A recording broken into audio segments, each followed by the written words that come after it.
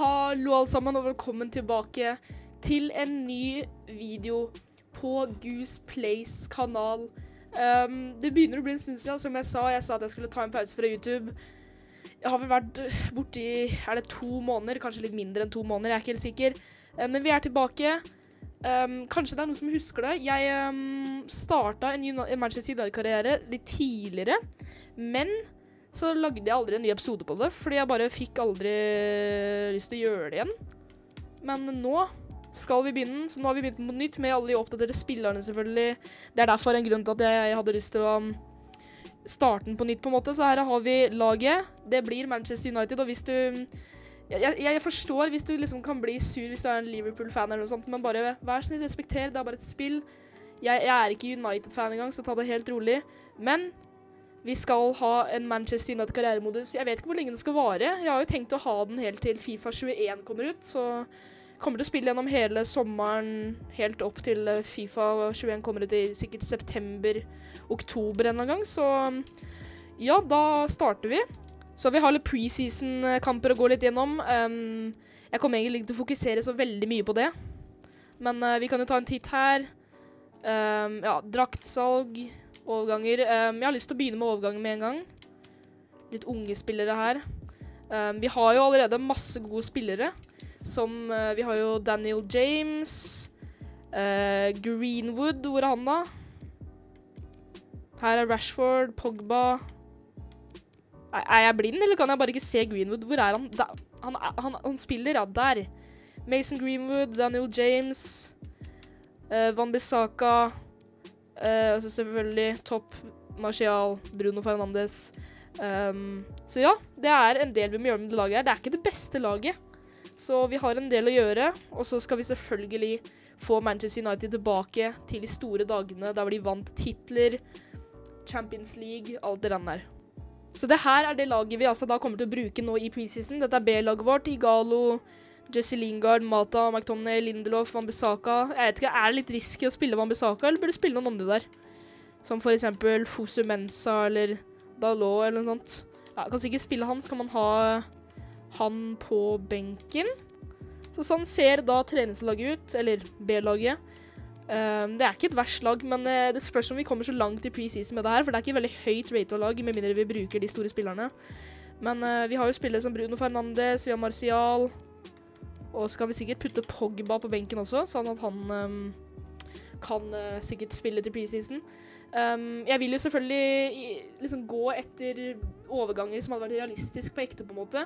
For eksempel uh, Manchester United har vært linka med for eksempel Jaden Sancho, så han må vi nesten signere. For det er jo en klassiker å signere når du styrer med United. Vi har 100 Oi, der skjedde noe med stemmen min. Vi har 167 millioner pund å bruke 539 000 uh, pund i lønnsbudsjett. Uh, så ja, vi kommer til å ha veldig mye å um, bruke. Vi kan faktisk ta en titt på styrets forventninger for denne sesongen her. Vinn Europaligaen. Vinn FA-cupen. Og kvalifiser deg til Champions League. Så vi må komme topp fire i ligaen, vinne Europaligaen og vinne FA-cupen. Det Det skal ikke bli lett, men uh, jeg tror vi skal klare det. Jeg tror det skal gå. Så da kan vi um, Ja, vi kan gå litt videre. Vi kan sette opp noe trening. Første, de, de, to første episodene kommer til å være litt treige alle sammen. Um, fordi um, vi setter opp lag, ikke sant. Men etter hvert så kommer det ordentlig gameplay og sånt, og det kommer til å bli gøy. Så ja Sorry hvis jeg høres litt tett ut, forresten. Jeg er, jeg er syk. Så ja. Så dette er treningen jeg har satt opp. Greenwood, Daniel James, uh, Gomez, Tuan CB, hvis jeg sier det rett, og uh, Williams. Så setter vi opp trening. Det var ikke en veldig bra trening. Altså, Greenwood gjorde det bra da, men eh, resten gjorde det ganske dårlig. Ok, greit. Da kan vi spole videre til første preseason-kamp mot Bayer Leverkusen. Vi har fått et bud fra Borussia Dortmund for Anthony Martial.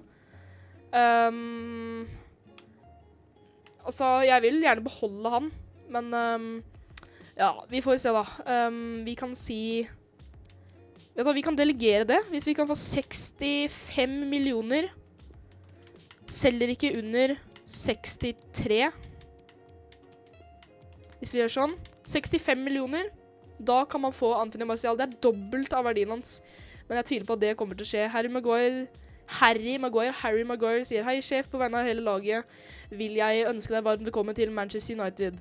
Uh, vi har en jobb å gjøre, hyggelig å møte deg også. Gleder meg til framtiden. Vi må jo vi må liksom hype de litt opp, da. Og beklager hvis lyset mitt er av. Det er ikke meningen at det skal være det. Men uh, ja, Goose er ute etter å imponere i sesongoppkjøringsdebuten, selvfølgelig. Så vi setter opp med B-laget. Uh, jeg vet ikke hvordan de stiller opp, ja, om de stiller opp med det beste laget sitt eller ikke. Men uh, ja, da får vi se da hvordan det går. Og oi, oi, oi. Og vi taper 3-0. Det er jo ikke veldig positivt. McTominay får et rødt kort. Um, ja, det var ikke veldig bra start. Um, det kan hende vi bør bruke førstelaget vårt, uansett om det er litt risky. Fordi da kan vi få skada spillere for sesongen, og det har vi ikke lyst til. Sevilla har lyst til å kjøpe Scott McTominay. Nei. Nei, jeg føler at han liksom kan bli, ja da. Ok, alle sammen, så Nå skal vi spille med førstelaget vårt. Nå bør vi vinne mot Roma, vær så snill. Ikke noe skader. 1-0. Fred skårer. Bruno Fernandes får et rødt kort. Det, ikke, det, er ikke det beste jeg har sett. Og det der er litt, det er, det er litt skummelt, for det der er faktisk Det er et av de beste lagene vi har, så det er litt skummelt at vi bare så vidt klarer å slå de. Men uh, ja, ja, sånn får det gå. Får gjøre litt trening igjen. Ingen går opp i rating ennå, men det tar litt tid. Um, Gomez blir det jo veldig spennende å se på. Jeg tror vi skal sende han ut på lån, faktisk. Jeg er ikke helt sikker. Um, neste kamp nå mot Napoli. Er det noen som trenger å hvile her? Vi kan sikkert putte um, Tja Vi putter på Lingard istedenfor Greenwood. Putter vi på Mata der. Så er Pogba på benken. Så kan Pogba få lov til å spille. Det var ikke det beste laget vårt i det hele tatt, faktisk. Um, da klinker vi på med Pogba på midtbanen. Og da Da bør vi kunne klare å vinne, eller? Vær så snill. Mot Napoli, hvis vi taper nå, så er vi ute. Og 2-1-seier. Daniel James og Wambisaka skårer. Går vi videre da? Nei, det gjorde vi ikke. Vi klarte ikke å gå videre i gruppene uansett om vi vant den kampen der. Så um, det var pga. 3-0-tapet mot um, Bayer Leverkusen. Men vi fikk litt penger. 1,8 millioner pund for det. Det var synd at vi ikke kom til finalen, bla, bla, bla. Paul Pogba Fikk han rødt kort? Hvorfor får alle rødt kort og sånn? Jeg skjønner ikke. Men uh, ja, da kan vi begynne å gjøre de signeringer, tenker jeg. Jeg tenker at liksom, nå passer det signeringer etter preseason. Um, kom ikke til enighet om Martial. Dortmund vil ikke betale så mye. Det skjønner jeg. Vil ikke, vil ikke selge Martial. Fosu Mensa Altså, han er 21, 72 rate. Han kommer ikke til å bli noe særlig god, men uh, det er fint å ha han til sånne små kamper. I f.eks. Europaligaen, da, eller um, i sånne små Carabao Cup-kamper. Men uh, ja, da tror jeg faktisk vi skal um, se etter vårt første um, signeringsobjekt. Og ja, vi prata om det i stad. Det er det mest åpenbare å gjøre. Jaden Sancho. Jeg vet ikke hvor mye han har vært nå. Fordi det er en helt ny squad-update. Og transfer updates og face updates. Jeg vet ikke hvor mye han kommer til å være verdt. Men uh, vi skal prøve 86 rata. 19 år gammel. Det er ganske sykt. Um, ja. La oss ta en titt og se om vi kan få han. Han har en utkjøpsklausul på 108 millioner. Hvis vi betaler den, så kan vi bare kjøre rett på med forhandlinger. Men nei, jeg tror vi kan, få, jeg tror vi kan betale mindre enn det. Så da innleder vi forhandlinger med klubben. Right, først må vi bli enige om hva slags avtale det er snakk om. Um, hva tenker vi da?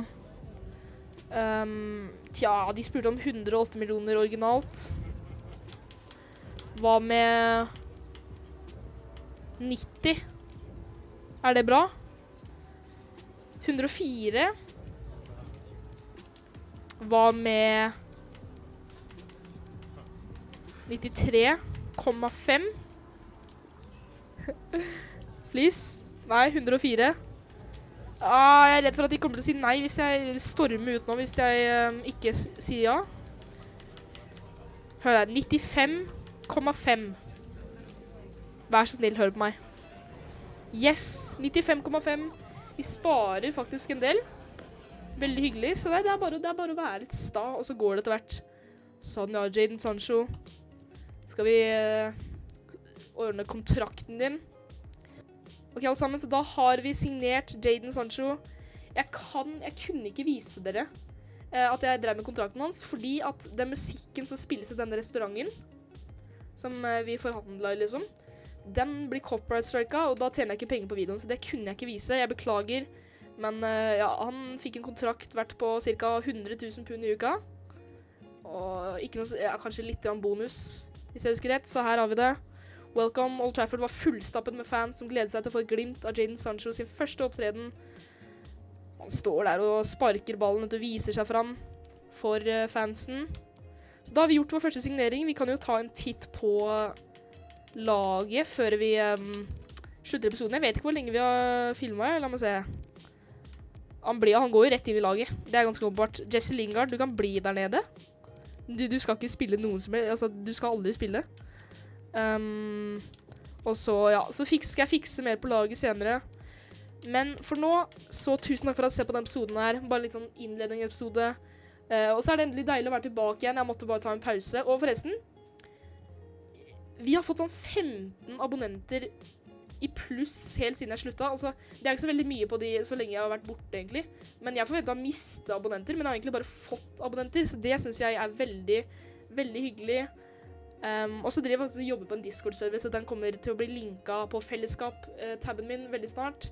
Og i neste video som kommer til å bli Fifa, tenker jeg. Og gjerne skriv ned i kommentarfeltet um, hvilke videoer jeg bør lage, og gjerne like, abonner, husk å trykke på den bjella, og så snakkes vi en helt annen gang.